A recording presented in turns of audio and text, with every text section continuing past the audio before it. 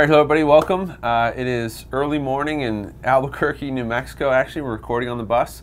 I'm here with my good friend James Fitzgerald, uh, also known as OPT. I guess I, I always call you James. Yeah, I don't call yeah, you OPT, is but uh, but that isn't your moniker. Uh, but uh, we've had a great day. We actually picked James up in Scottsdale, uh, did a little filming there, and then drove up. We spent the day in Moab, Utah yesterday.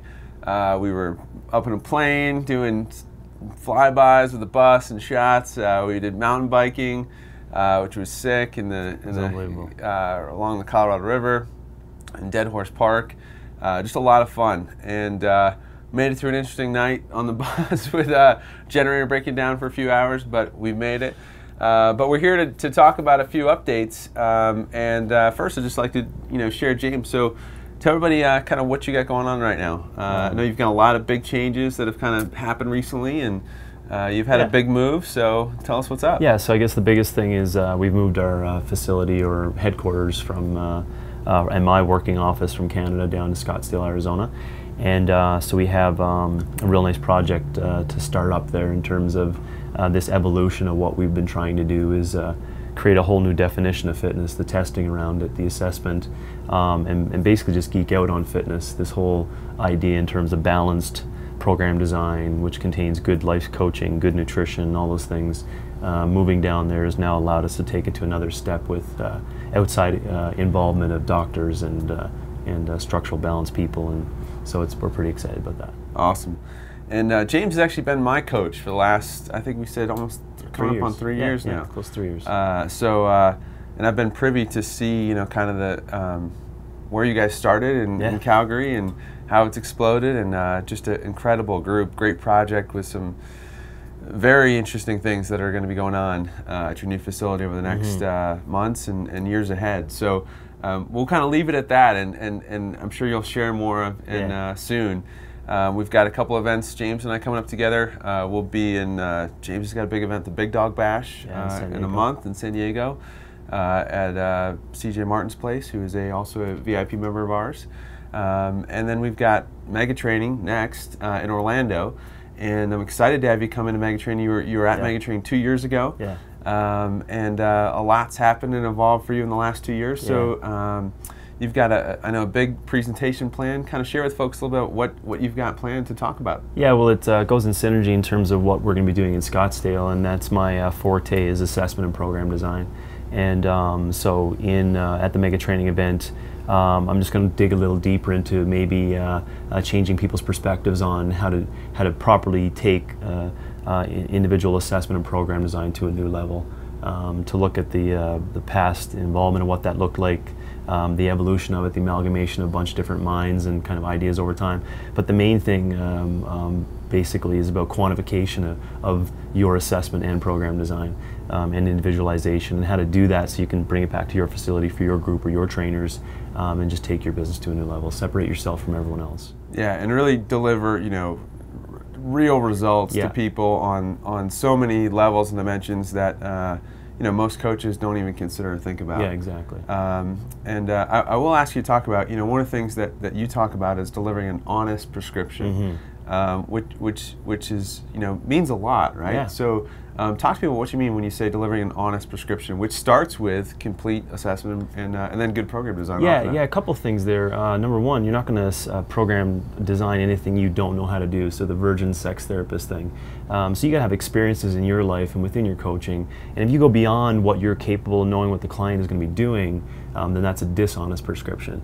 Um, so you're just basically reading from a manual and then prescribing and not really know exactly what's going to be happening. So um, an honest prescription is based upon what you know will be effective because you've experienced it, you can pass on. And there's nothing wrong with being at that level, increasing your experiences moving forward. Secondly, is this uh, this uh, sense in the fitness industry, which has really um, been um, irking me for a number of years, is, is a is a prescription without knowing any idea in terms of why it's done.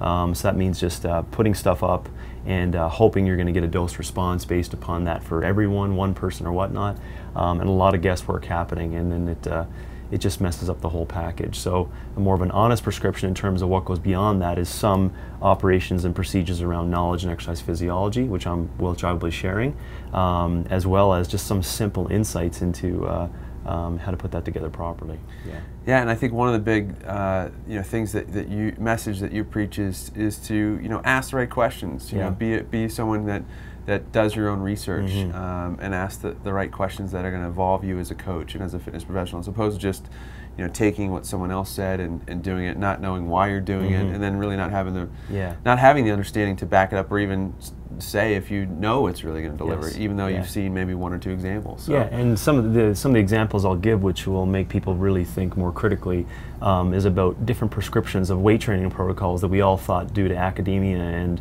uh, that world, um, we thought we were getting dose responses of uh, different kinds of conditioning models that people are using, uh, thinking their sweat response and time and work rest ratios, um, as well as endurance models. We really have to rethink that in terms of what it means for fitness because the, the mantra has been taking it from a, a sport setting in weight training you know let's call it uh, you know high turnover work and endurance and let's put that into fitness yet in fitness is a lot, is a lot about real life and function and things like that so um, i'm going to make people think a little more critically about what that looks like Awesome. Uh, and I know you've got uh, just some, well, some great things happening with the CCP program, which Yeah. um, we'll be able to share about at Mega Training, which is uh, James's uh, program for uh, coaching certification, uh, delivering great, you know, combination of program design, assessment, nutrition, lifestyle coaching.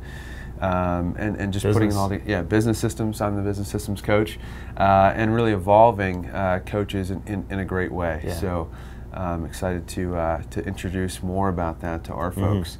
Um, so, uh, and then I guess we got a few weeks off, and then we hit the road for Australia. yeah Uh, we'll be two weeks down in Australia doing uh, our mega training down there, as well as uh, a couple other certs. Uh, Mhm. so we're gonna have a busy, uh, busy, busy fall on the road for James and I, uh, but fun. We're excited uh, about the trips. Uh, so. I just want to encourage everybody uh, if you haven't met James yet or you, you haven't seen him since the last mega training two years ago, he came out.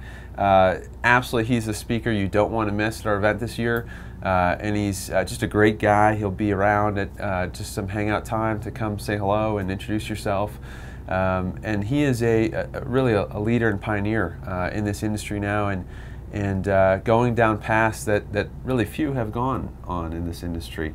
Um, and so it's exciting to, uh, to, to to see that and to to share that with with our folks. So. Um, I think that's that's about it. Uh, look forward to seeing you at Megatrain. If you haven't registered now, uh, get on it. We're we're kind of coming near the tail end of registration. We're starting to fill up, um, and we're getting close to where uh, things will be sold out very soon. So uh, register at www.megatraining2011.com. And James, we look forward to seeing you there. yeah Okay, take care. Bye bye.